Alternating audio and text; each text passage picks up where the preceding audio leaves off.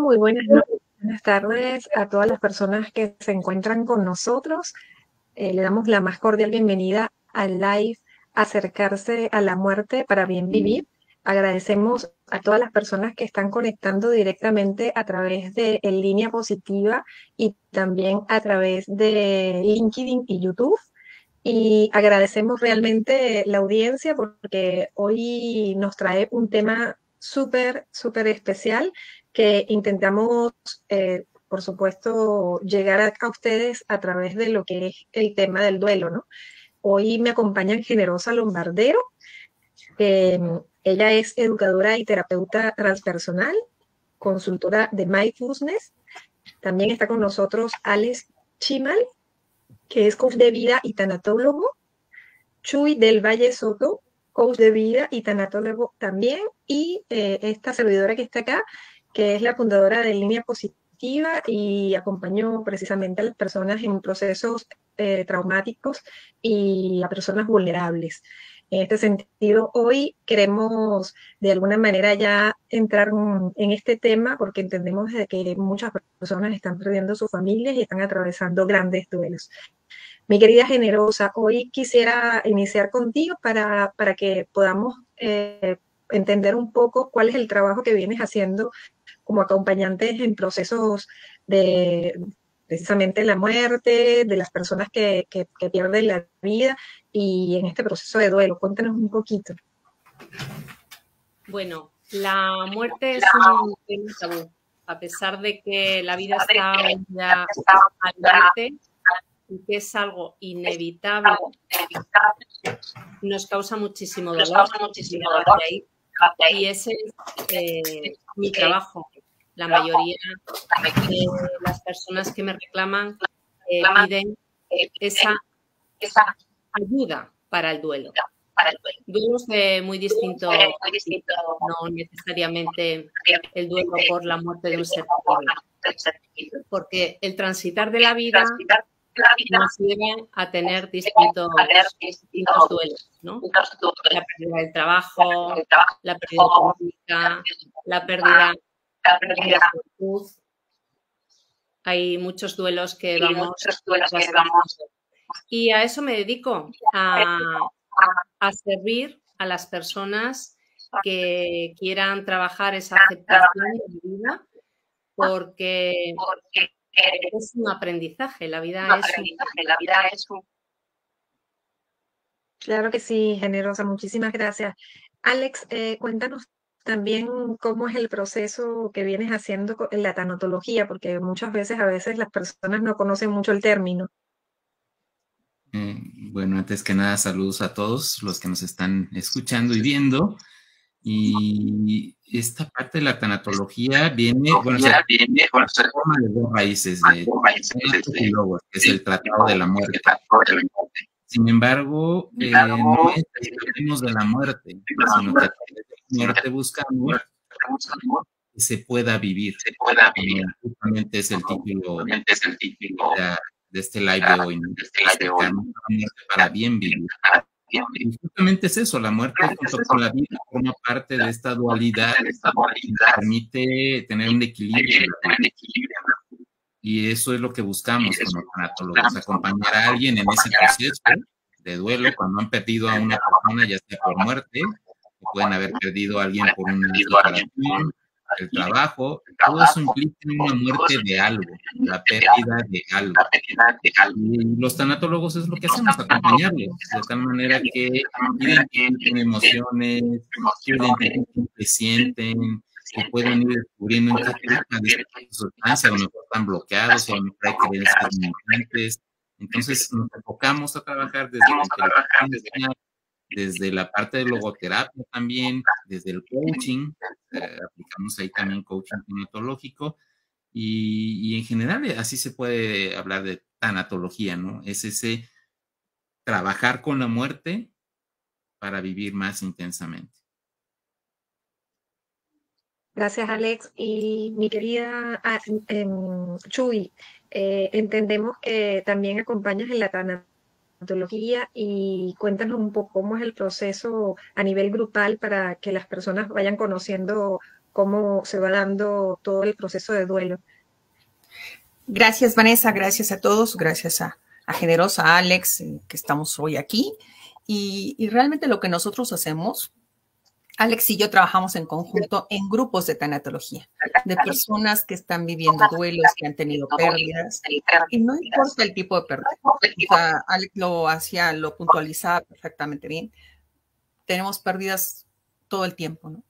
Pero hablemos de una pérdida de un ser querido, las emociones que nos genera, las emociones encontradas, eh, esos sentimientos y esa, esa parte que nos va moviendo, decir, lo perdí, ya no lo voy a volver a ver, y todas esas montaña rusa de emociones que nos va generando la pérdida de un ser querido.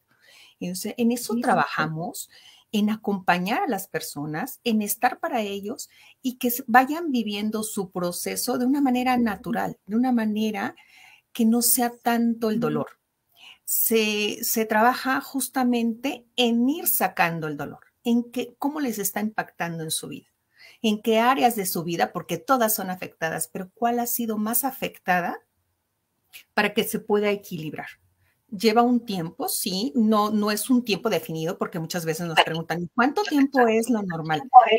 Depende de los afectos, de los apegos, de las circunstancias, del tipo de muerte, si era una muerte esperada por, una enfermedad o fue una muerte inesperada justamente. todos esos son factores que se van sumando y que lo, nos ayuda a permitir trabajarlo de diferente manera.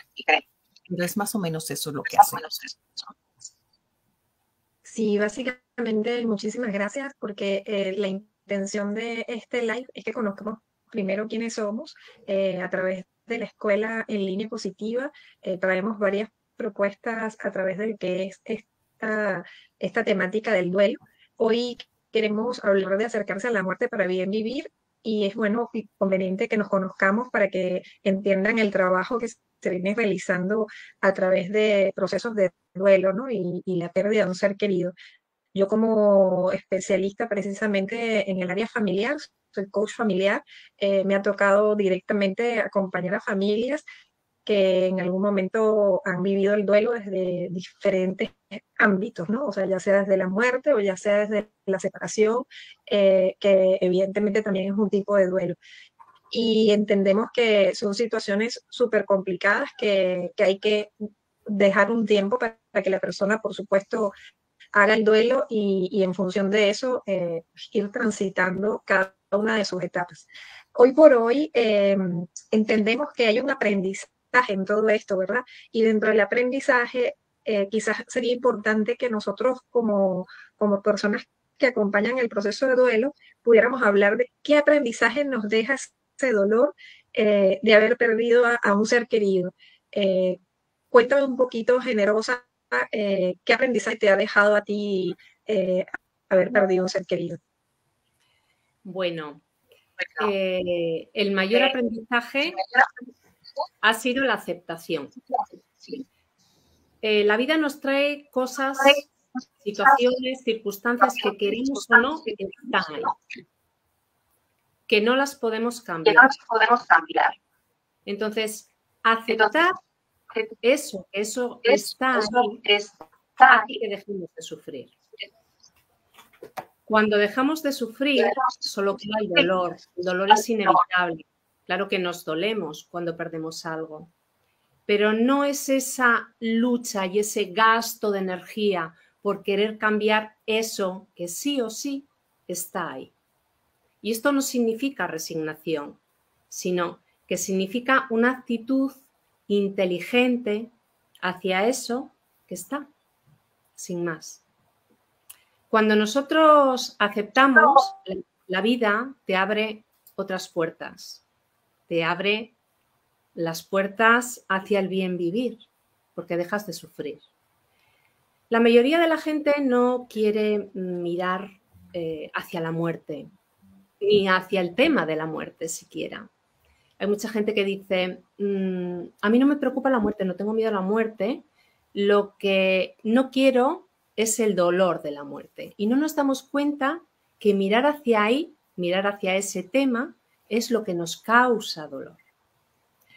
así como nosotros eh, o una mujer embarazada eh, le enseñan cuáles son los procesos para que nazca el bebé, siempre es muy aconsejable acercarnos, mirar hacia la muerte para ver qué es lo que puede haber ahí, porque eso siempre es tranquilizador, como el de la mujer embarazada, es tranquilizador saber, porque es mayor el miedo hacia algo que desconocemos que la muerte misma.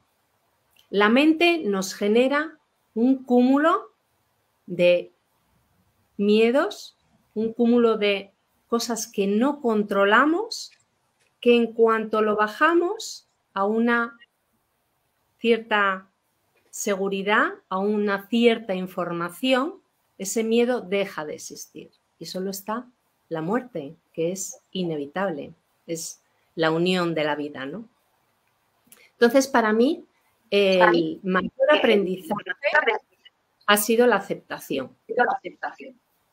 Aceptar lo que hay en mi vida, sea lo que sea, porque la vida siempre nos va a ir trayendo circunstancias que no podemos controlar, que no podemos prever, que no podemos manejar. Ese es mi aprendizaje, la aceptación. Y qué bueno que, se trate, se hable de la aceptación, porque muchas veces para nosotros es súper complicado que, aceptar esa situación que está presente. Y, evidentemente, pues sabemos que nos trae muchas heridas, muchos sufrimientos, pero que esa etapa de la aceptación es necesaria para que podamos continuar y, avanzar hacia hacia bien vivir, que, es lo que queremos. Ahora, Alex, eh, hoy por hoy, ¿cuál ha sido tu aprendizaje ante la misma situación, ante ese dolor de haber perdido un ser querido? Yo lo vería y tiene que ver con lo que, lo que ha comentado Generosa, esta parte de aprender a ser protagonista, aprender a dar de que todo tiene que depender de ti, no de lo que está afuera.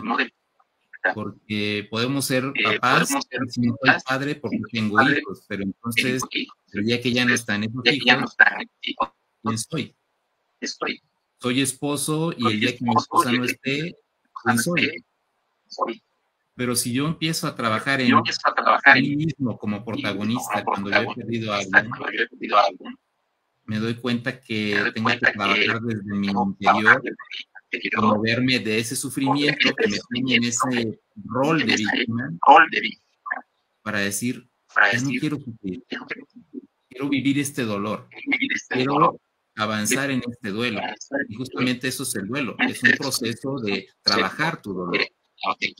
Y cuando tú lo empiezas a trabajar a través de acciones, a través de conciencia, a través de hacerte también responsable de tu vida, empiezas a convertirte justamente en eso, protagonista. Empiezas a decidir qué quieres. Empiezas a soltar todo eso que te está causando dolor y decir, sí, voy a seguir adelante. Porque sigo vivo. Esa persona se ha ido, eh, en algunos momentos lo hemos hablado así en nuestro programa de radio, el velo, lo que pasa después del velo, porque cuando alguien muere, como que todo lo vemos como velado, está ahí tapado, cubierto, nos asusta, nos da incertidumbre, ¿qué hay del otro lado? Y a veces nuestro corazón nos está mandando la señal diciéndonos, hey, como en un velo que podemos ver sombras, así siente nuestro corazón, están en algún lugar. Algo pasó, ya no lo veo, ya no está aquí físicamente, pero lo siento, percibo algo. Y cuando me permito creer en eso, empiezo a tomar otra vez ritmo, empiezo a tomar control de lo que estoy sintiendo, de lo que me está sucediendo. Cuando descubro realmente qué está pasando en mí, en mi corazón, inclusive en mi cuerpo, porque puedo sentir una opresión, puedo sentir un nudo en la garganta, puedo estar llorando constantemente. Cuando yo ya identifico todo eso, puedo empezar a tomar como soluciones, digamos, esas acciones que me van a permitir seguir. Y a veces aprendemos cosas que parecen como muy mundanas. Ahí en, nuestros grupos de autoayuda han llegado mujeres que dicen, perdí a mi marido y me doy cuenta que no sabía cambiar un foco, que no sabía cómo arreglar un apagador, que no sabía cómo arreglar algo de plomería, que no sabía cómo ponerle el gas al, al calentador de agua. Y desde ahí se aprende. Aprender a hacer cosas que antes no hacíamos. Y desde el otro lado yo podría decir, bueno, pues yo no, a lo mejor yo tenía una esposa, ella hacía de comer y ahora tengo que hacerme de comer yo.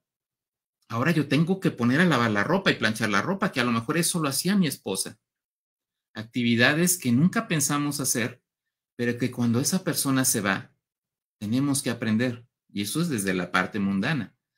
Pero también está el aprendizaje espiritual, darme cuenta, pues ahora sí que el recuento de los daños, que perdí, a quién perdí, la consejera, mi amiga, la cómplice, mi amante, y ahora tengo que aprender a vivir sin todo eso que perdí. ¿Qué puedo yo recuperar desde mí mismo y qué no? Y eso también me va a llevar a decir, me necesito una consejera, una compañera, una amiga. ¿Me quedo aislado? Siempre me va a faltar seguir en la pérdida. ¿Qué aprendo? Que tengo que ir llenando esos vacíos que a lo mejor quedaron. ¿Desde dónde? Desde quererme a mí mismo, desde tener redes de apoyo, desde decir, oye, tú ya viviste esto, ¿cómo le hiciste? Entonces creo que ese es el mayor aprendizaje. Lo veré yo desde la parte muy mundana hasta la parte muy espiritual. Y también aprender qué tan fuertes somos ante esas situaciones, porque nunca lo vamos a saber hasta que lo enfrentamos. Y con eso concluiría, ¿no? Gracias, Alex. Y precisamente hablas de algo súper importante porque en algún momento mencionas la espiritualidad. La espiritualidad es algo que, que, no todos lo saben llevar y sobre todo en el momento en que eh, perdemos a un ser querido dentro de lo que es la espiritualidad misma eh, como palabra y no, no llevándolo a, a, la religión. Hablas de, que, del aprendizaje de, de, de, la resiliencia, porque precisamente qué tan fuerte estoy eh, ante esta situación. Y, esa búsqueda de ayuda que es tan importante. Entonces tenemos la aceptación, llenar el vacío que, hablaba Alex, el apoyo, el aprender qué tan fuerte soy y la espiritualidad. Ahora, Chubi, evidentemente, cuando nosotros eh, no, nos enfrentamos a esta situación, eh, entendemos que, que todavía siempre hay mucho que aprender. ¿Cuál ha sido tu aprendizaje? Algo muy importante para mí ahora es saber poner pausa en nuestra vida, porque nos llenamos de actividades y estamos todo el día para arriba, para abajo, corriendo y de pronto nosotros mismos no nos damos ese tiempo. Y si no nos damos el tiempo para nosotros, tampoco se lo damos a nuestros seres queridos, a los cercanos, al prójimo. Y esa pausa de decir, a ver, hay un funeral y nos damos ese tiempo de decir, voy al velorio, voy al funeral, voy a las misas, voy a los rosarios que se acostumbran aquí en México y, estamos los nueve días presentes. Depende mucho de la conexión que teníamos con la persona fallecida y con los cercanos a la persona fallecida. Pero hablemos de que sea un familiar. Todos pausamos nuestro ritmo de vida y estamos dedicados a todo el, el hecho de lo que está aconteciendo. Es la pregunta sería, ¿por qué no en una vida cotidiana nos damos esas pausas? Ese es el aprendizaje. ¿Qué queremos hacer con lo que estamos viviendo y cómo lo estamos viviendo? Porque nos llenamos de actividades y de cosas y de esto y del otro y, y a lo mejor de manera justificante decimos, no tenemos tiempo. Tengo una amiga que me dice, no me alcanza la vida. Y en realidad el tiempo ahí está, la vida ahí está. Somos nosotros los que, ¿qué estamos haciendo con ese tiempo, con esa vida y hacia dónde nos queremos orientar. Y regularmente pasa un funeral que todos, no, sí, hay que valorar, y las reuniones que vemos a mucha gente, familiares y demás que regularmente no vemos, y empezamos, nos vamos a reunir, hay que acercarnos, hay que convivir, pero nada más decimos cuándo lo hacemos, cuando en realidad le ponemos, perdón, fecha para decir, ¿sabes qué? Sí, nos vamos a reunir el primero de diciembre, por dar una fecha. No lo hacemos. Valorar a las personas. Es tanto el correr que todo estamos en el rápido, rápido, rápido, que incluso con las personas que vivimos en nuestra casa, nuestro esposo, nuestra esposa o nuestros hijos o quien sea, nuestra pareja, es, ahorita vengo, voy, voy, y entonces a veces hasta de un piso al otro, sí, adiós, que te vaya bien. ¿Y qué pasa si ya no regresa? ¿Qué pasa si ya no va a estar con nosotros? De pronto darnos esos espacios y esos tiempos de decir, ok, sí, salgo, te despido, o incluso acá manejo mucho, te doy la bendición. Y a lo mejor vamos, vamos a ponerle un nombre, perdemos cinco minutos pero igual y los ganamos. Nos da paz, nos da tranquilidad y eso mismo nos da felicidad. Valorar a los que tenemos. Y si todos lo hiciéramos, viviríamos un mundo distinto. Pero si hablamos de la pérdida, ¿en dónde quedamos cuando probablemente se fue la persona y estábamos enojados? ¿Cómo nos quedamos? Somos seres humanos que por naturaleza reaccionamos de acuerdo a las emociones, accionamos en las emociones. Pero a veces las emociones, si reaccionamos así, nos generan culpa. ¿Y a dónde nos lleva la culpa, no? Vamos a tener esa culpa todo el tiempo porque se murió y estábamos enojados, o no le di el abrazo que quería, o no le di la bendición, o no me despedí, o ya no lo vi. Nunca sabemos cuándo ya no vamos a estar. Y sería imposible saber las fechas, ¿no? Es decir, imagínate que me dijeran, ah, pues te vas a morir tal día. Pues me muero antes nada más del miedo, del susto, de la preocupación. Así, así es como, como se vive, como lo podemos visualizar, sí. Y nos pasa en los grupos que la mayoría de gente llega con esa culpa y ese arrepentimiento. Es que no hice, es que no le di, es que no sé qué. Y, y bueno, creo que sería importante tomarlo en cuenta, ¿no? Gracias, Vanessa. Así es, Chuy. Eh, qué tan importante lo que acabas de decir, porque hablamos de tiempo. Y eso me, me hace en algún momento puntualizar que el hecho de no tener tiempo muchas veces eh, nos lleva al sentimiento de culpa. Y ese sentimiento de culpa precisamente habla de cuando ya la persona está ausente, todo lo que no pude hacer. Pero incluso eh, en algún momento hemos escuchado no acostarse molestos, no despedirse de, eh, eh, molestos, eh, sino que realmente nos demos un abrazo y recordemos el amor y el encuentro que, que tenemos, esa, esa, ese vínculo que nos une. Y es precisamente por eso, porque va por allí la cosa. O sea, qué, qué bonito es que el último recuerdo que yo tenga de ese ser querido, si en ese momento llega la ausencia, sea un abrazo o, o, decirte te amo o decirte pese a lo que pasamos o al disgusto que tuvimos, recuerda que estoy aquí y que estoy para ti. Eh, y eso es importante, o sea, que, nos quede eh, lo bonito de la esencia que, hemos vivido y no ese sentimiento de culpa de lo que no tenemos, ¿no?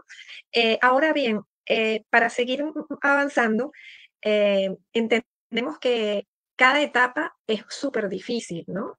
Entonces, ¿qué ha sido, qué es lo que es más difícil de superar en toda esta etapa de duelo?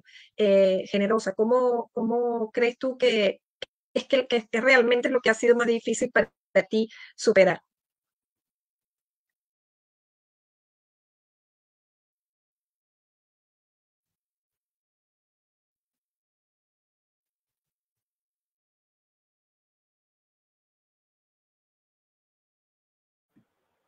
Intenta tu actividad del micrófono. Sí, ya está.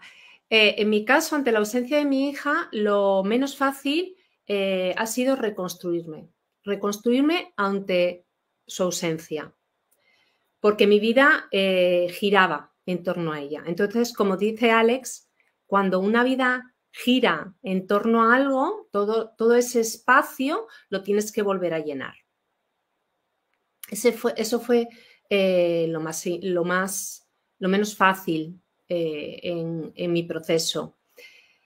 Pero cuando, como yo ya tenía herramientas, como mm, ya eh, había trabajado los aspectos eh, de la muerte y había vivido circunstancias bien difíciles, pues yo tenía mis, prioridades. Yo tenía mi lista de valores y eso es lo realmente importante cuando hacemos un, un proceso, cuando eh, participamos en grupos de acercamiento al duelo, cuando nos acercamos al tema de la muerte, no se trata, como cree mucha gente, de llamarla. No, no, no, no. Se trata de cuestionarnos. Se trata de decir, ¿qué es lo que valoro? ¿Qué valoro si yo me fuera a morir? Igual valoro tener a alguien que me escuche. Entonces yo escucharé más. Igual valoro eh, que me cuenten las cosas de manera clara. Entonces yo contaré las cosas de manera clara. Igual valoro em, tener las cosas solucionadas, tanto económica como humanamente. Entonces, trataré de solucionar las cosas a día de hoy, porque como no sabemos, trataremos de estar más alineados, sentir, pensar, decir y hacer. Y entonces eso siempre, siempre produce bienestar porque llevas una vida en coherencia. Y eso es lo que, lo que se trata con los grupos de duelo, tanto si has perdido a alguien, que es cuando generalmente la gente va, o cuando quieres prepararte para cualquier situación en la vida, cualquiera.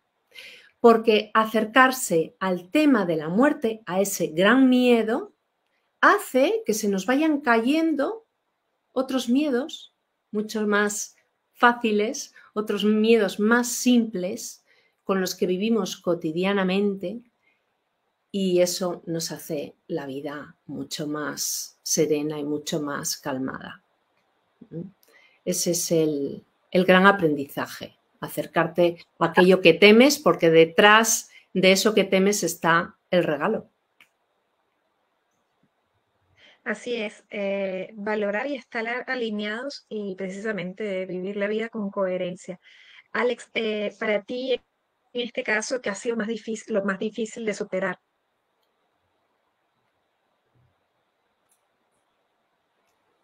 Lo que, y lo voy a decir desde el lado de los hombres, ¿eh? desde el lado de cómo lo vivimos los hombres. Creo que lo más difícil es romper esas creencias limitantes, eh, porque nos enseñan que tenemos que ser fuertes, que tenemos que ser el pilar de la familia, que como hombre no puedes expresar. Y nos sucede mucho ver en los grupos de autoayuda que el 95% de asistencia es de mujeres y el 5%, y creo que me estoy viendo un poquito generoso, el 5% es de hombres. Eh, y cuando llegan a ir, eh, no expresan o no expresamos. Y eso es lo que más duele, sentir el dolor verdaderamente en tu corazón, que se está sintiendo en tu cuerpo, que las lágrimas están por salir y decimos, no, no voy a, a decir nada porque tengo que ser el fuerte. Creo que eso es lo más doloroso, empezar a darnos cuenta que también podemos llorar, que también nos quebramos, que también cuando alguien se va, perdemos, o sea, sí perdemos. esa mentalidad de ganadores que, nos enseñan, tienes que ser ganador, si no, si no, entonces no eres ese hombre fuerte, feo y formal, como decían mis, mi, abuelita o mi mamá en su momento, ¿no? Cumple con las tres Fs y ese es el verdadero hombre, ¿no? Y dice uno, Creo que hoy en día todo ha cambiado y el verdadero hombre es alguien que es sensible, alguien que puede expresar lo que siente, alguien que puede ser soporte de alguien más y también decir, necesito ayuda. Porque ¿cómo vamos a hacer apoyo de alguien y decir, sé vulnerable si nosotros no, no nos podemos mostrar desde esa faceta de vulnerabilidad? Y creo que eso es lo más difícil desde el lado de lo que a mí me ha tocado eh, experimentar en mi vida, el querer ser fuerte y luego darme cuenta que, que, sí necesito decirles, oye, me siento mal, me siento triste, quiero llorar, me siento solo. Y a veces en ese encerrarnos, yo, yo le llamo así como que nos vamos como, como los tigres que están heridos, nos vamos a una cueva y ahí nos encerramos. Pero nos aislamos, no decimos nada. Y esperamos después, ah, ya, ya salí bien fuerte, pero en realidad Puede ser que esa herida ya está, entre comillas, cerrada, pero por dentro no sabemos qué se guardó. Y al tiempo lo vamos a descubrir. Al tiempo me he dado cuenta que me ha tocado observar que, híjole, este duelo no lo viví. Este duelo se volvió silencioso. Este duelo ahora se manifestó aquí. Y entonces es cuando me pregunto, ¿no? Bueno, ¿cómo es que me perdí y no me encontré? Pues porque me aguanté un montón de cosas que no expresé en ese dolor. Y eso ha sido lo más difícil, creo yo. Y al aislarme, la consecuencia es que no valoramos a los que están cerca, nuestra atención a los que están cerca, que nos necesitan también, la hacemos de lado, porque estamos enfocados acá, me duele, tengo que ser fuerte, tengo que ser fuerte. Y los que están a un lado, ¿dónde está mi atención para esos que están? Y lo decimos mucho en los grupos, para los que ya se fueron toda tu oración, pero para los que se quedan, toda tu atención, incluyéndonos a nosotros mismos. Y con eso cierro mi, mi parte. Sí, y sucede que precisamente hablas de esa vulnerabilidad que, que buscan el, en algún momento sensibilizar cierta, ciertas personas ante los porque efectivamente eh, cuando ya en algún momento haces o manifiestas el hecho de que, de que efectivamente te duele, eh, bueno, en algún momento ya no te ven como, ese, como esa fuerza eh, que tienes y por eso se, establecen esas creencias de las que habla, esos ciertos tabúes que están allí presentes ante lo que es la pérdida, ante lo que es el duelo, ante el que no puedes llorar, el que realmente tienes que resistirte al dolor y, entendemos que somos seres humanos simplemente. Entonces, cuando somos seres humanos, evidentemente allí es cuando, cuando más tenemos que manifestar nuestras dolencias y nuestras emociones, porque evidentemente lo que va a permitirnos ese, ese pasaje a la aceptación de lo que hablaba Generosa. Ahora, Chuy, evidentemente eh, todos hemos tenido que superar mm, eh, estas situaciones, pero para ti, ¿qué, cómo, ¿cómo ha sido y cómo sigue siendo además?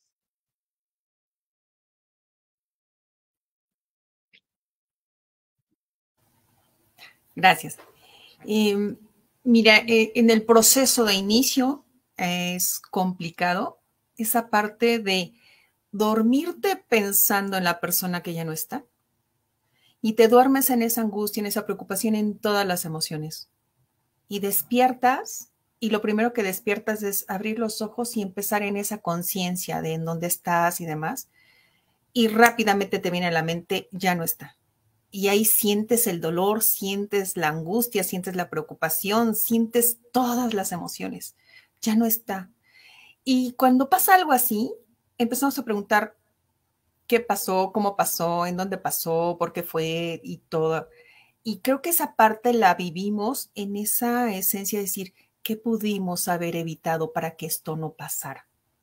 Pero de inicio, sí te digo, es aceptar la realidad de la pérdida es lo más difícil. El proceso, vamos avanzando en el proceso y lo vamos superando poco a poco, pero de inicio el, despertar y darnos cuenta de lo que estamos viviendo es muy complicado.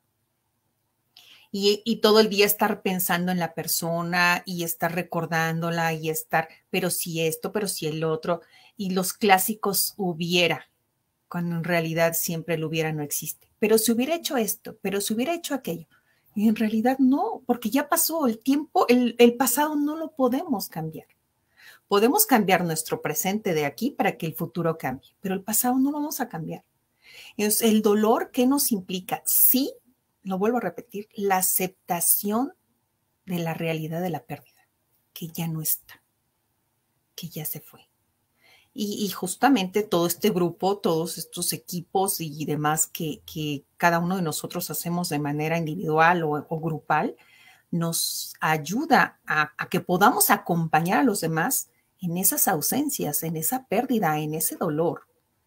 ¿Cómo vivirlo? Que no se sientan solos. Y, algo también lo que es eh, muy complicado, que mientras estamos en el proceso del velorio, el funeral y todo lo demás, estamos arropados con nuestras gentes, con nuestros seres queridos, con nuestros amigos, con los que están ahí presentes. Pero cuando termina todo, ya nos quedamos solos y regresamos a casa y estamos solos Y el estar solo no es nada recomendable. Es cuando decimos, ahí tenemos que buscar las redes de apoyo. Y uno mismo decir, ¿sabes qué? Hoy, en este momento, ahorita, me estoy sintiendo mal. Necesito hablar con alguien. Y en realidad no necesitamos ni el consejo ni nada. Nada más necesitamos saber que ahí están y que hay alguien que nos puede escuchar. El hablar lo que estamos sintiendo, lo que estamos viviendo, cómo lo estamos viviendo, ayuda mucho, nos da paz y es parte del proceso. Ese es mi compartir. Muchas gracias, Shui, eh, porque evidentemente nos damos cuenta de que cada quien además vive las pérdidas eh, desde, su, desde su visión, aparte de eso, desde el aprendizaje que hemos tenido también desde muy pequeños, desde incluso lo que nos han inculcado, como decía Alex, eh, yo recuerdo que, que, yo viví la pérdida de mi abuela de manera muy diferente a como la vivieron los que realmente estuvieron muy cerca en el momento en que ella eh, la perdió porque yo estaba lejos. Entonces, evidentemente, cuando ya me tocó esa, esa ausencia, eh, pues había, había incluso eh, comentarios o, frases que para mí no encajaban. Y no encajaban porque para mí no eran oportunas, pero era porque yo estaba viviéndola desde un enfoque. Y eso evidentemente también es sano evaluar todo lo que es nuestro entorno, ¿verdad?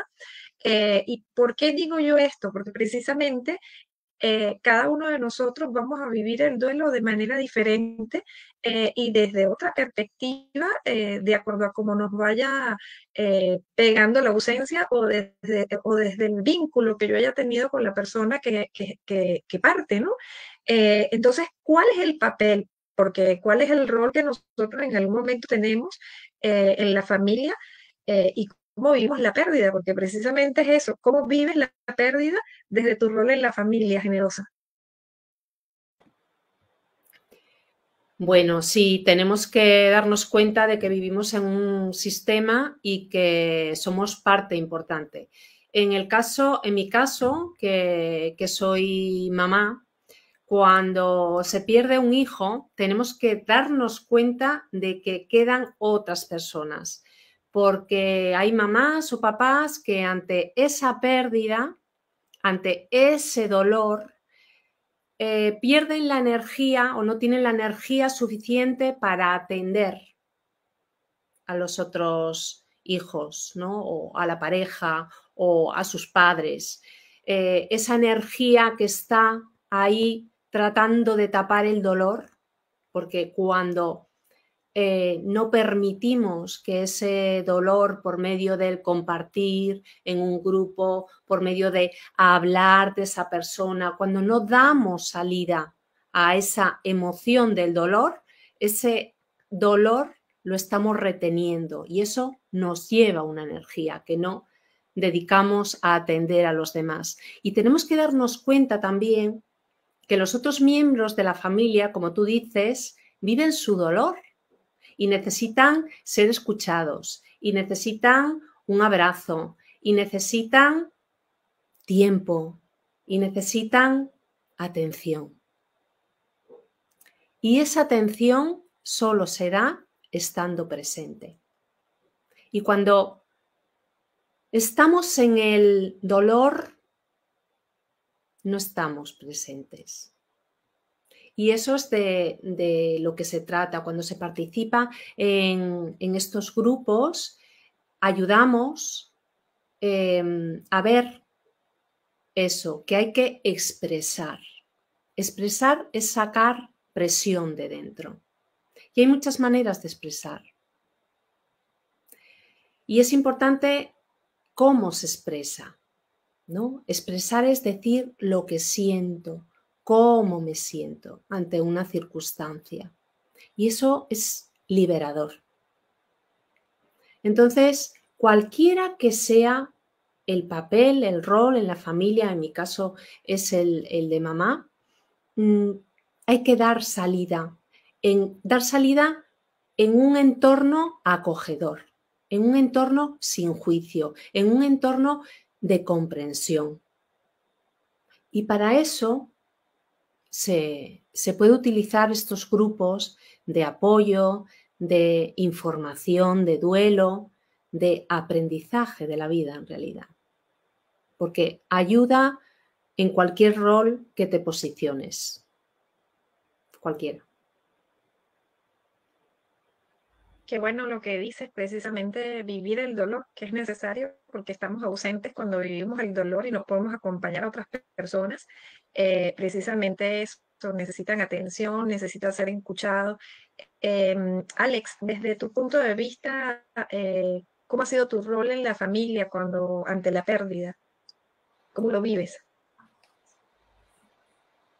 Creo que ha habido como dos dos lados o dos caras las que yo he vivido. Una antes de ser coach y tanatólogo y otra siendo ya coach y tanatólogo. Entonces creo que la primera vez que, que yo viví esto pues, y no sabía nada de cómo acompañar, toma uno un rol pensando en lo que alguien debe hacer o no debe de hacer.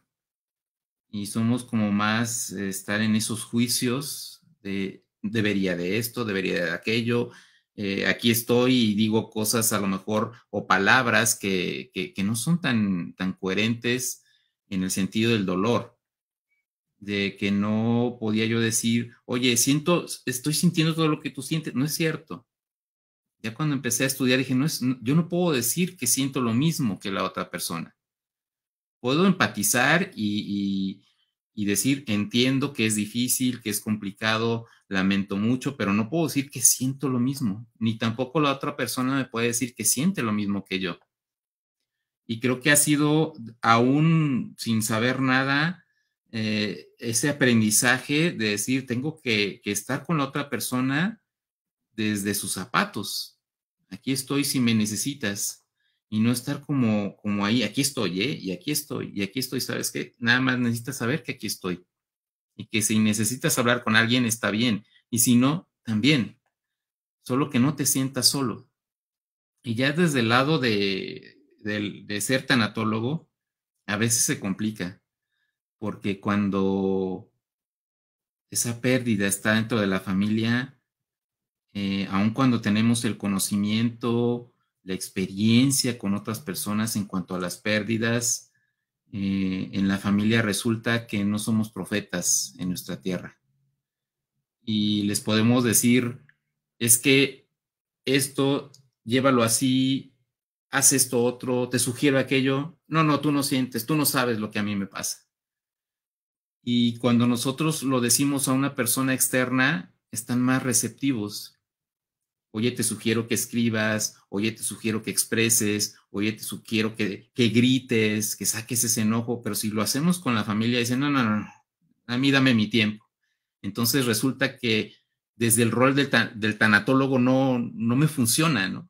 No me funciona decirles qué pueden o no hacer, qué sugerencias puedo dar, es difícil. Y, y nuevamente tengo que tomar ese rol de decir, ¿sabes qué? A ti te duele, a mí también. Si en algún momento quieres hablar, aquí estoy. Y me permito también vivir mi duelo. Porque sé que no puedo decir, ah, ahorita voy a ser el tanatólogo, porque también me duele. Y también tengo que hacer una pausa, como dijo Chuy. Si saben que en este momento no piensen en mí como tanatólogo, Piensen en mí como alguien que puede saber herramientas o tener herramientas que les puedo compartir, pero que no puedo acompañarte porque pues, sería como si fuéramos dos cojos apoyándonos ahorita y, no vamos a poder correr, vamos a ir para un lado y para el otro, y ahorita no es ese momento, ¿no? Y que entonces creo que lo veo más así de, de permitirme ese espacio para mí, sin soltar a los demás, sí más atento a la atención, es decir, aquí estoy, ahí estar más presente, más presente, pero sin presionar a nadie, esperando a que me digan, Alex, necesito esto, ¿puedes? Seguramente voy a estar, pero creo que desde el nuevo rol soy empático, pero aún así me mido. Me, me, me, siento como un poquito limitado en muchas cosas digo, no, en lugar de sentirme así, mejor me volteo hacia mí y me dedico un tiempo y me dedico a reconstruirme y me dedico a, a ver qué vacíos me dejó para empezarlo a trabajar desde mí, ¿no? Y creo que eso es lo que yo he experimentado en cuanto al rol cuando he perdido a alguien. Claro, y qué tan valioso es que, que, seamos conscientes de que necesito reconstruirme, que necesito realmente rehacerme nuevamente para entender muchas cosas y para poder continuar mi camino eh, aceptando esta pérdida.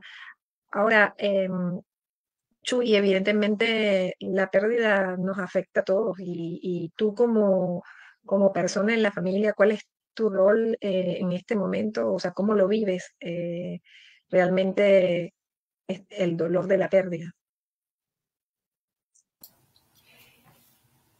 Eh, primero tendríamos que definir quién estoy siendo ante la pérdida.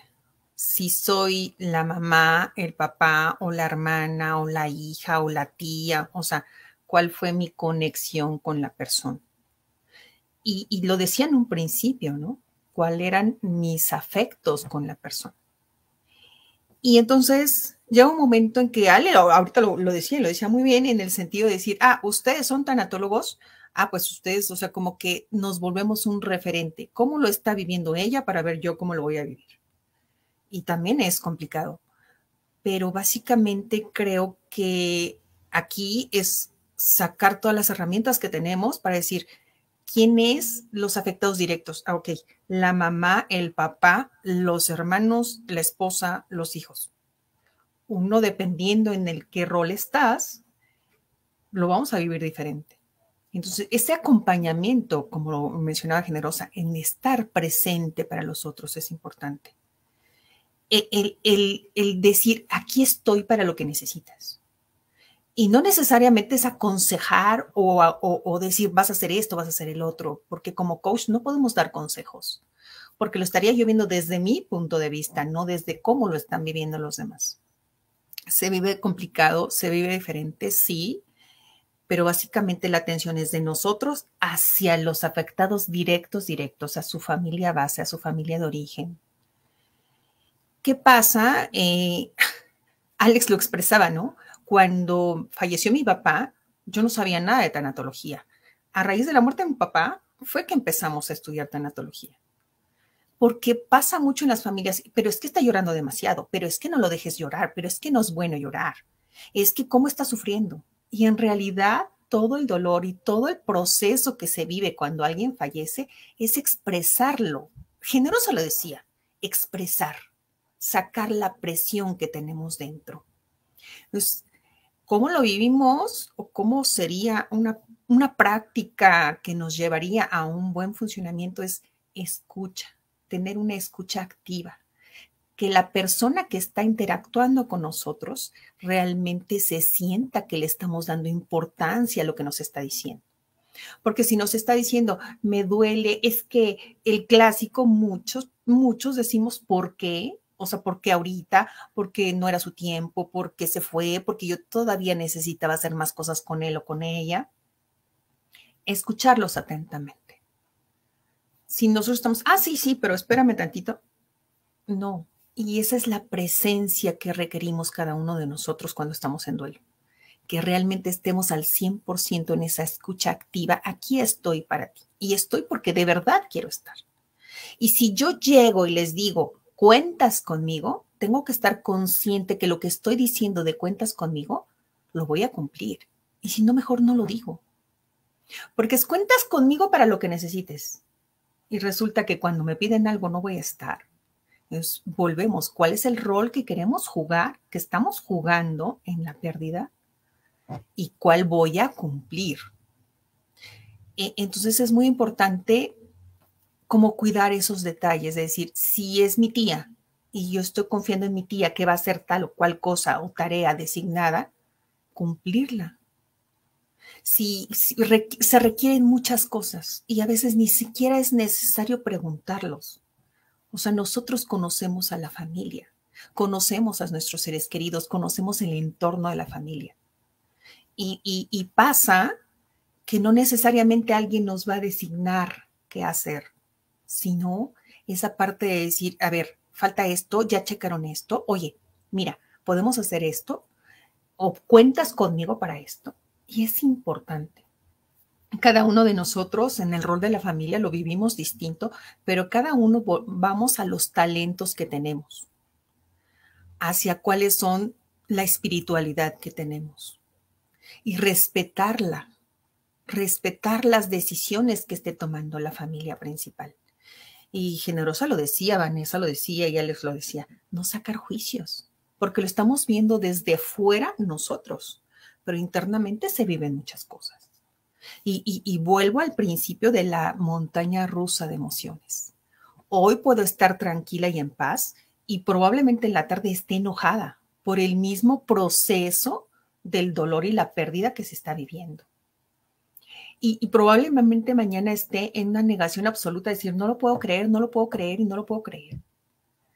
Y yo misma no podemos saber exactamente qué nos está pasando cuando no conocemos nada del proceso del duelo.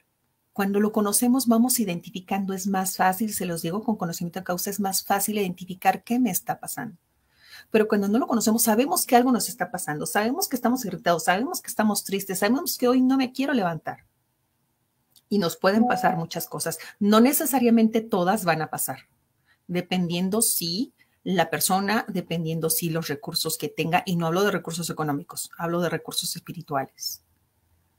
¿Y, y qué tanto es la aceptación? Ok, nos pueden decir una frase, ya tienes un angelito en el cielo y yo siento que me cae un balde de agua fría y que dices, no me digas eso. Pero si soy muy espiritual en el sentido de acercada o allegada a Dios, en ese, en ese aceptar que nacemos, morimos y que vamos a trascender, probablemente lo entienda más rápido o lo acepte más rápido y resignifique la pérdida más rápido. Pero depende del rol en el que estamos y creo que básicamente lo que el, el mensaje que yo daría es el respeto a cada persona en su dolor y cómo lo está viviendo. No todos lo vamos a vivir igual, no. Y tenemos diferentes emociones, sí, sí las tenemos. Ese sería mi aporte.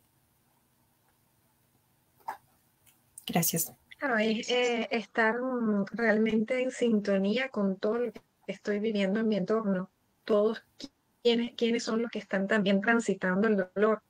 Eh, y en algún momento precisamente entender que esa persona que está allí eh, también sumida en el dolor, que, que, de pronto no puede estar tan pendiente de ese entorno, es como cuando vemos la depresión.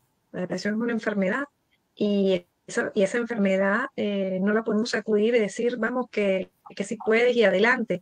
No, hay que dejar, hay que, dejar que, fluya. Y el dejar fluir es dejar fluir el dolor, es dejar transitar el dolor, es dejar que cure la herida, eh, es dejar que la persona eh, pueda dar paso hacia, esa, hacia esa aceptación y hacia todo el proceso que, corresponde el, duelo. Ahora, el, el live de hoy acercarse a la muerte para bien vivir. Pero entendemos que, la muerte es una transición y la vida también es una transición. O sea, eh, están presentes en, este mundo.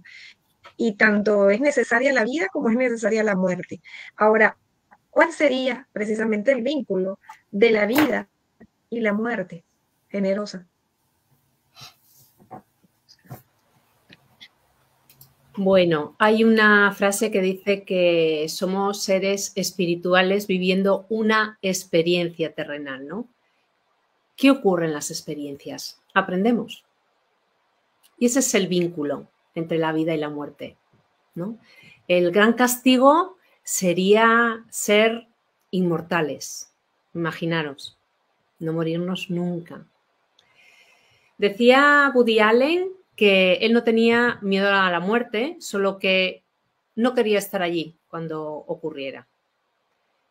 Eso es aprender, aprender a, sobrellevar lo que nos sucede en la vida, porque la vida es un, estadio en el que se nos da unas cartas y con esas cartas tenemos que, que jugar, ¿no? Cada uno decide qué mano tirar.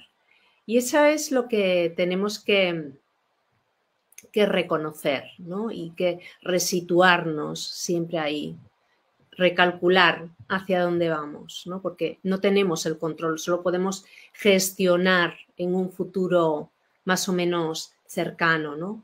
Y, y llevar la vida y la muerte con una cierta amabilidad y humor también, como decía Woody Allen, ¿no? Mm, llevar la vida hacia esa muerte que es inevitable desde ese humor amable.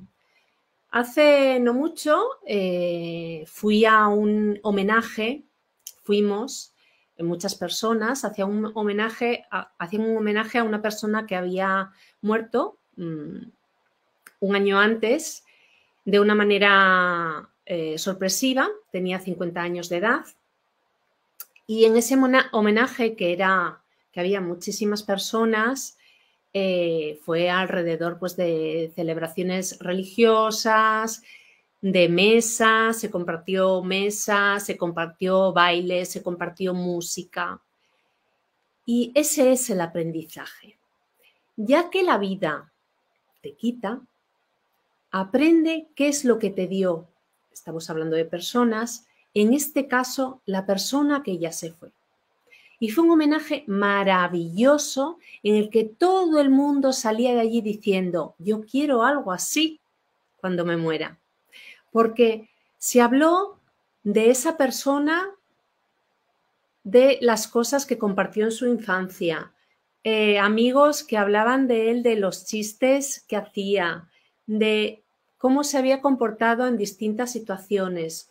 Todo es, todos esos regalos que tenemos constantemente y que no nos damos cuenta, ¿no? Y, y había un denominador común entre todos los participantes que estábamos allí, que era qué bonito, qué bonito. Evidentemente la muerte estaba allí presente, pero era con, desde el agradecimiento. No, nada es en balde. ¿Qué me ha dejado a mí esta persona? Y era tanto, tanto, tanto el aporte hacia los demás que el homenaje fue fantástico. Entonces, quedarnos con, ese homenaje hacia, hacia la vida, ¿no?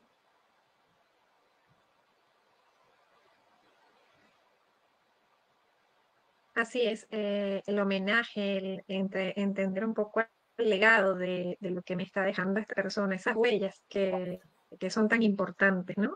Em, Alex, eh, el vínculo de, la vida y la muerte, ya estamos llegando casi al final.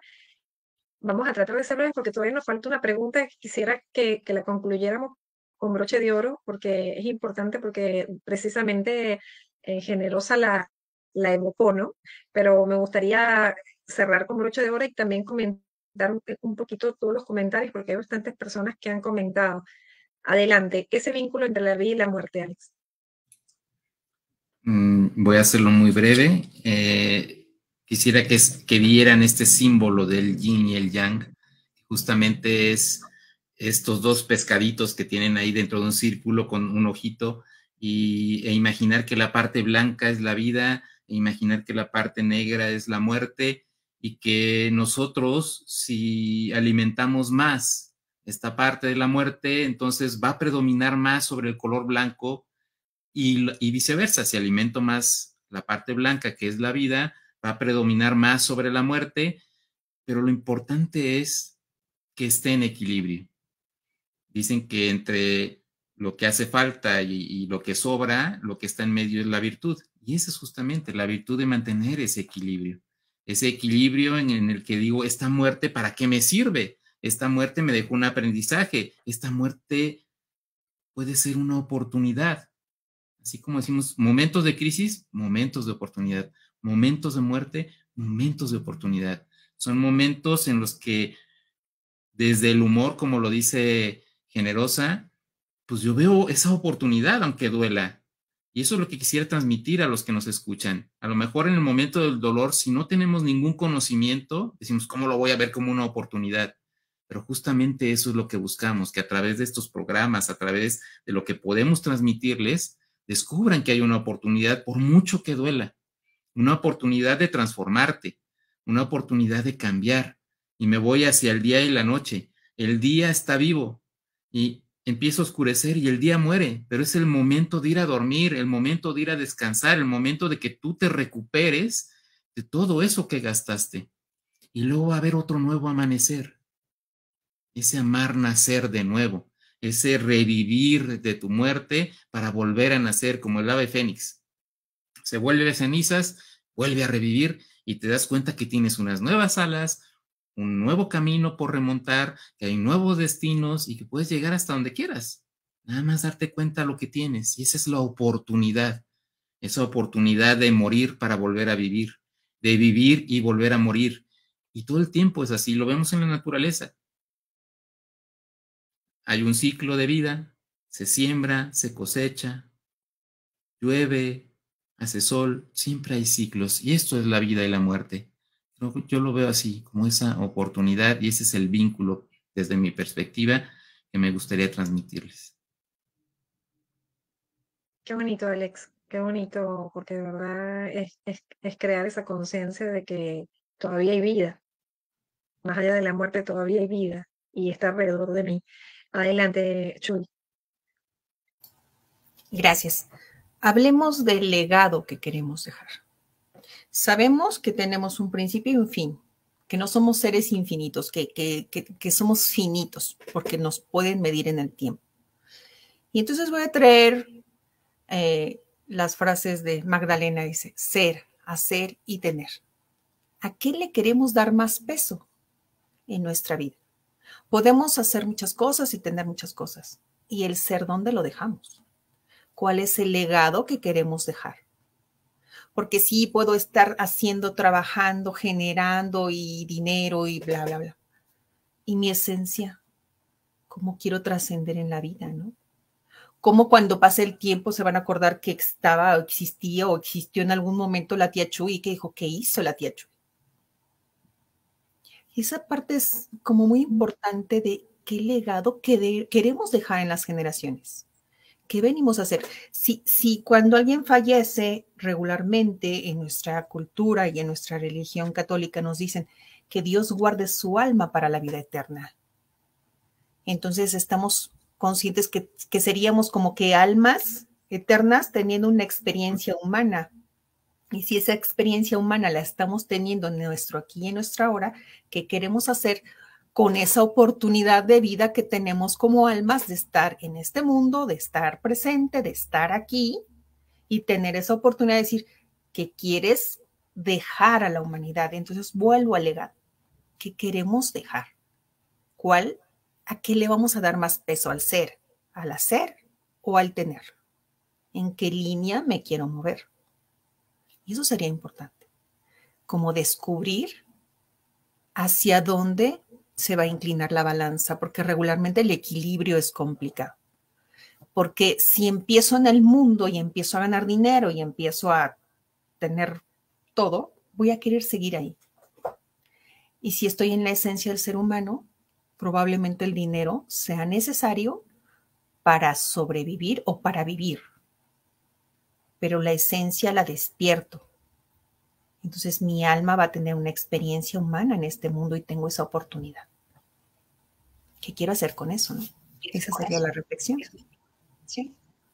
Sí, y qué bonita reflexión porque todo concluye eh, precisamente en aprender a sobrellevar lo que, lo que estoy viviendo, lo que sucede, eh, vivir después de la vida, vivir después de la muerte, eh, recibir ese, ese legado y, y tener un equilibrio ante esa situación complicada que se presenta. Esto me recuerda y, y pareciera que no, no, no cabe la comparación, me recuerda a mi perrita que, que tuvo cinco, seis, perritos y, y, lamentablemente uno vino mal formado. Y lo que es la naturaleza animal, ella lo puso de lado porque ella necesitaba atender a sus otros cinco bebés. Entonces, eh, pareciera que no, es, que, que, no, no lo razona, pareciera que no, que, no lo, que no lo piensa, pero sí es un instinto animal de, de supervivencia donde ella tiene que proteger a, los que están vivos. Entonces, qué bonito es que nosotros tuviéramos aunque sea esa conciencia o ese instinto eh, de poder decir, sí, efectivamente, eh, este ser querido no significa de que no me sirvió, no, no, no, no significa que terminó su ciclo, significa que me dejó esa huella, que me dejó ese legado y que de alguna manera eh, los que están a mi alrededor tienen vida, siguen allí, estando allí y me dan mucho amor. Entonces, si nosotros nos sostenemos de ese amor, qué bonito es entender que, que la vida sigue y que a pesar de la muerte que me está trayendo un, profundo dolor, eh, si yo me, me, tomo fuerte de ese legado, eh, pues eso me va, me va a traer precisamente esa posibilidad de, humorizar eh, esto que estoy viviendo y de relativizar todo lo que, lo que estoy viviendo, trayendo las, las vivencias bonitas y todo lo que en algún momento em, esa persona me dejó. Entonces, ¿seríamos capaces de ver la muerte desde la amabilidad del humor? Esa es la pregunta. Eh, ¿Serías capaz de, ver la muerte desde la amabilidad del humor, entendiendo que el humor eh, es aquel que es jocoso, sino es el humor que te libera, es el humor que te, que te trae felicidad, que te da alegría, que te descansa el alma? Cuéntame, generosa.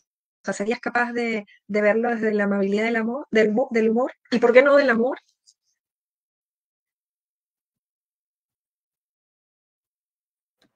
es la del humor. Es esa relatividad que, nos da poder acercarnos a algo que nos da miedo y cuando descubrimos lo que es, nos relajamos, ¿no? Es como cuando eh, vemos una imagen que da mucho miedo en la televisión, pero si la eh, observamos detenidamente, descubrimos que es una careta, entonces nos relajamos, ¿no? Y nos hace gracia. Pues es lo mismo, es acercarnos a la muerte de esa manera, con afán de descubrimiento. Y cuando lo descubrimos, no solo nos relajamos, sino que nuestras relaciones mejoran, la educación de nuestros hijos es más consciente, aprovechamos más la vida, estamos más presentes en el ocio. Somos más abundantes en realidad, porque la abundancia es Mm, apreciar lo que se tiene. Entonces, cualquier acercamiento, eh, cualquier paso hacia, hacia, la muerte nos, nos, ayuda a vivir. ¿no? Cualquier eh, persona que, eh, o cualquier camino que enseñe al ser humano a acercarse a la muerte, le ayuda a vivir mucho mejor. Y ese es ese es el camino, tomarlo desde el amor y también desde el humor, de manera relajada. Así es.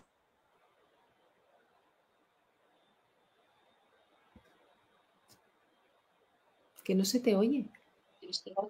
Adelante, Alex. Eh, ¿Qué podemos agregar? Eh, pues nosotros estamos en México y se dice que en México nos reímos de la muerte y acaban de pasar justamente estos días, el Día de Muertos, porque pues hacemos calaveritas y, eh, de dulce y otras calaveritas escritas y se vive de esa manera. Pero cuando llegan esas fechas eh, y que ha pasado el tiempo de un duelo, puede pasar. Creo que tiene que existir un proceso primero para poderlo tomar después con humor, porque nos ha tocado eh, ver cómo vive alguien el duelo y le decimos, oye, sonríe. No, no puedo sonreír porque acabo de perder a alguien muy valioso para mí. Y estamos acá comentando muchas cosas y están serios. Y dicen, ¿qué hago aquí? Se sienten como extraños porque dicen, ¿qué hago aquí? No puedo participar de este humor, de alegría, porque no, no me lo permito. Regreso a lo que comentaba en un inicio, esas creencias limitantes, ¿no?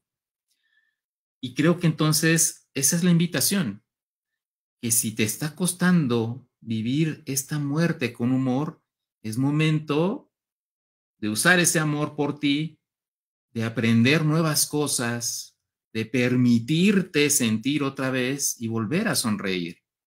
Y muchas veces pensamos que sonreír es como, ah, esto es pecado, está mal, porque esa persona ya murió y cómo es posible que si murió yo esté feliz.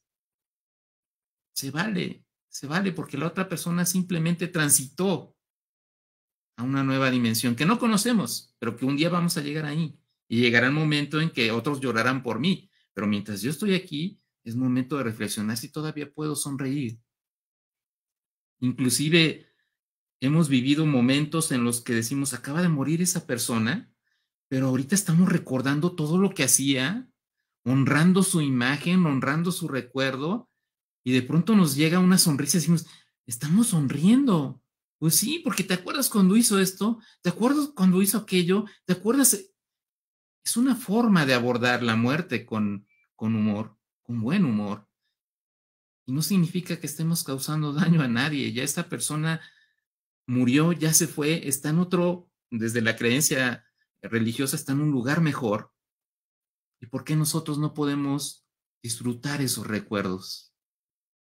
Recordar algo bonito, no nada más, ay, ya lo perdí, pero te acuerdas todo lo que hizo por ti. ¿Te acuerdas todo ese amor que te daba? ¿Te acuerdas, te acuerdas, te acuerdas? Y como dicen, recordar es volver a vivir. Y eso les dejaría, ¿no? Si queremos vivir el dolor con humor, recordemos, volvemos a vivir y dejemos que surja, no una carcajada a lo mejor, pero sí una sonrisa. Y con eso estaremos haciendo algo por él, o por ella, o por ellos, y también por nosotros. Con eso concluyo. Qué hermoso, Alex, qué hermoso, porque es eh, de alguna manera traer nuevamente la felicidad que esa persona te trajo en vida, y traértela aquí, en este momento, con sus recuerdos, con sus momentos, con todo lo que te hizo sentir. Chuy, cuéntame un poquito cómo se puede vivir desde la amabilidad del humor. Mira, ahorita que Ale daba su participación, me acordé del funeral de mi abuelita y estábamos en el velorio y llegó un momento en que todos los nietos estábamos reunidos y empezamos a platicar lo que vivíamos con ella y que cuando me regalaba los dulces y que cuando me daba las abritas y que cuando me daba el refresco y que cuando me daba... Y, y, fue un compartir de verdad que lo recuerdo con mucho amor, porque fue justamente con humor.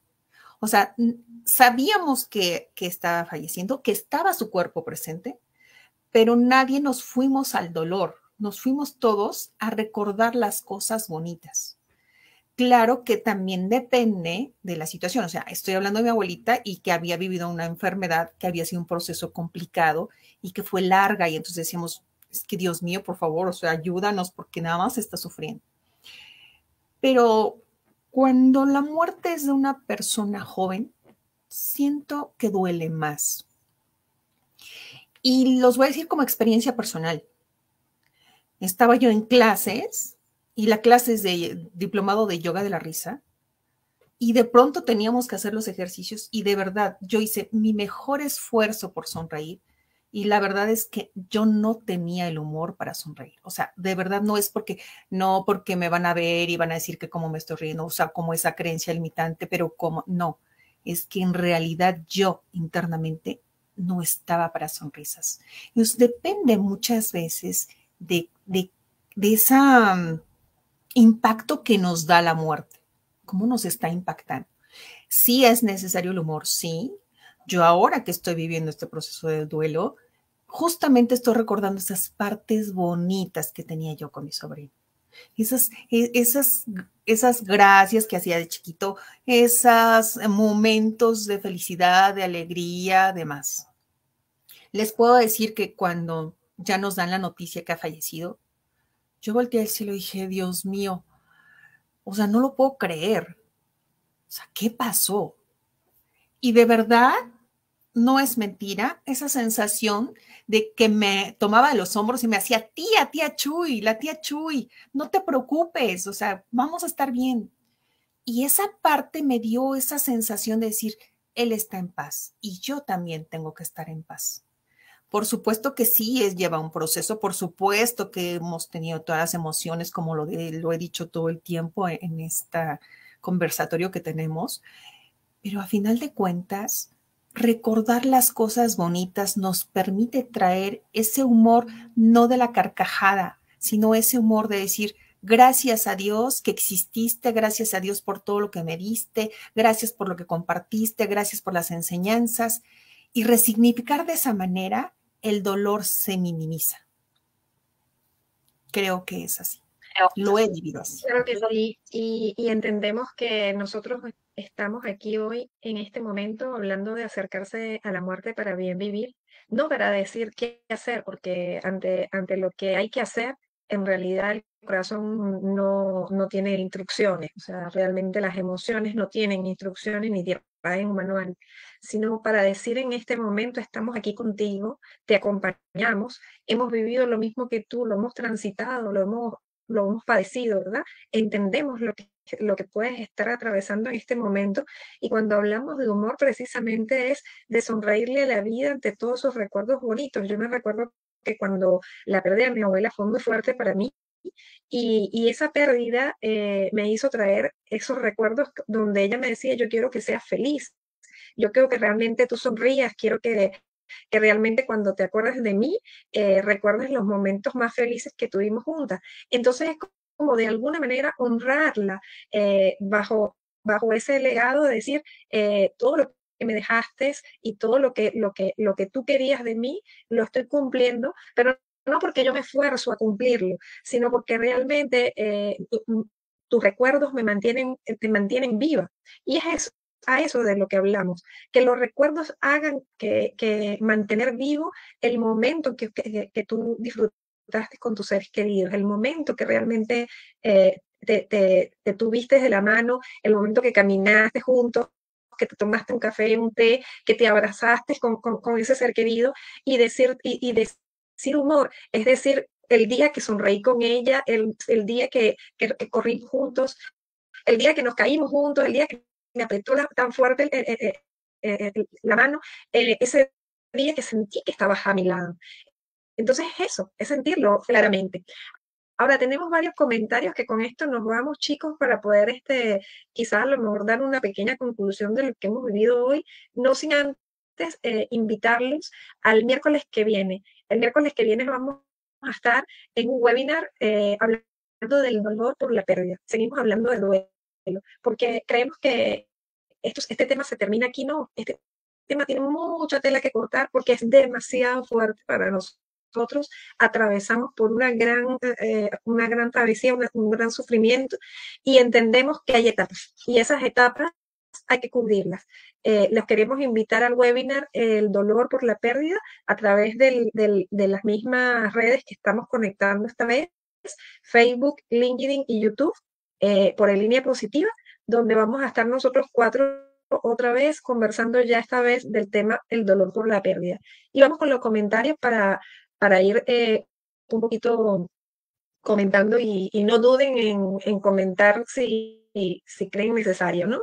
Eh, chicos, eh, por acá veamos. Está Mónica Martí, que nos dice, buenas noches, queridos compañeros, Vanessa, Alex Generosa y Chuy, qué necesario es abordar este asunto. Muchas gracias. Por acá está Fabiola que nos dice gracias por abordar este tema tan sublime y necesario de abordar. Yo voy a agradecerle a todos, eh, eh, eh, por supuesto, todas las personas que nos han agradecido. de verdad les mando directamente por acá, pero voy a puntualizar algunos que, que, hacen comentarios de testimonio, porque son bastantes comentarios, chicos. Después los invito a que vayamos a, a las redes para, para ayudar a, a responder. Por acá, por ejemplo, Mónica nos dice, cuando perdí a mi madre me quedé, eh, me quedó un gran aprendizaje. Todos los, todos los días hay que vivirlos como si fuera el último. Hay que expresar nuestros sentimientos a los que queremos. ¿Por qué esperar un te quiero? Aún te necesito. Todos necesitamos del amor y los abrazos bastante más a menudo de lo que lo damos y os recibimos. Así es. Y por acá Mónica también nos dice, es un poco más largo, pero dice, y yo, al haber estado tan cerca de la muerte, me ha demostrado que soy mucho más fuerte de lo que creía. He aprendido a celebrar la vida de alguien y a agradecer a la vida que me cruzara con ángeles de luz. Me enseñó a saber quiénes en eran realmente mis amigos, a relativizar y a discernir los problemas que son realmente graves. Me enseñó a valorar infinitamente mucho más el tiempo que pasó con mis seres queridos, también expresar mi gratitud por todo lo que la vida me regala cada día y sobre todo, y bueno, lamentablemente no ocupo en, el mensaje, pero entendemos este, el, fondo del comentario. Y después Beatriz nos dice, la muerte de mi padre fue muy dolorosa, pero creo que el humor al que se refiere es a sentirme tranquila porque ahorro su recuerdo y me siento tranquila porque dejó de sufrir debido al vicio del alcoholismo. Después tenemos varios comentarios de agradecimientos y, de, de, todo lo que eh, son las aportaciones que hemos dado hoy.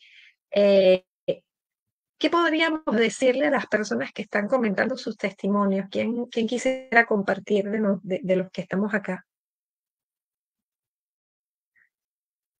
¿Qué podríamos comentar, Alex? Adelante.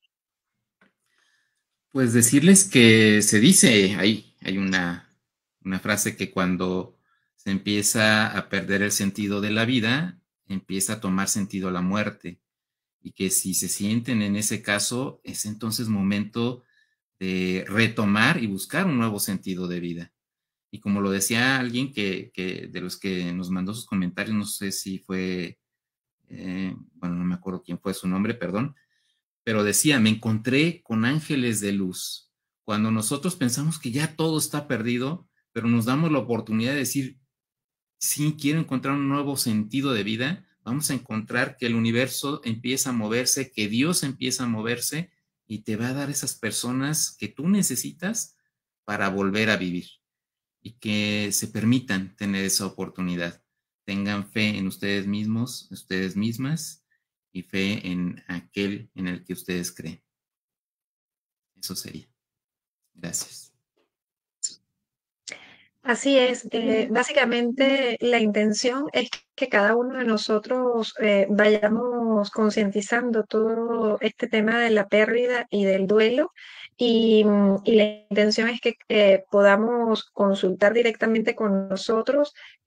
pueden, pueden hacerlo sin ningún problema. Yo les estuve colocando directamente los teléfonos que pueden contactar e incluso el correo electrónico que, que tenemos para ustedes para que de alguna manera, si necesitan contactarnos, eh, pues nos contacten. Eh, vamos a estar haciendo varios webinars y un masterclass en torno a un proyecto que estamos manejando de cómo superar el duelo, pero la intención es que si quieren contactarnos desde ya, eh, escriban a supera tu duelo arroba en línea donde vamos a, poder contestarle directamente e igualmente a través de, del WhatsApp podemos crear un grupo de superar el duelo para que ya directamente podamos contactar directamente.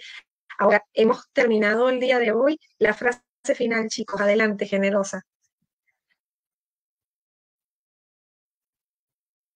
Tu micrófono. Le preguntaron una vez a un maestro eh, cuál era el secreto de su serenidad y dijo, colaborar incondicionalmente con lo que ocurre. Y eso es la aceptación.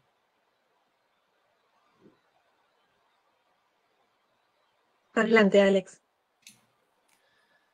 Pues darnos cuenta de que cada día es una nueva oportunidad de volver a nacer y de volver a sonreír.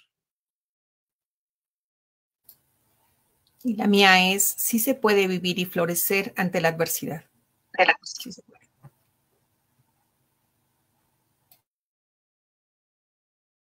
No te escuchamos, Vanessa.